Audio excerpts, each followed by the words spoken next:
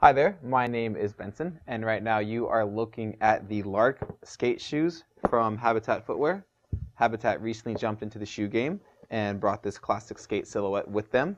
Uh, the Lark uses a vulcanized outsole that's super grippy, super flexible, really fun to skate in.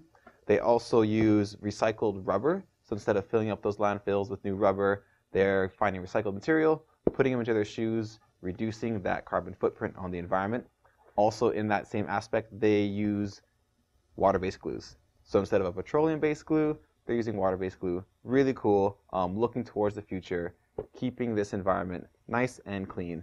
Habitat's doing their part. So these shoes are a pretty low-profile design. They've got a moderately padded collar, which is the part that kind of wraps right around your ankle. They've also got a moderately padded tongue to provide both comfort and support.